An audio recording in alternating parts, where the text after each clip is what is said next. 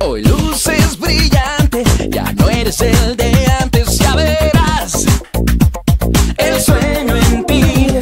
Tu mente inconsciente procesa diferente.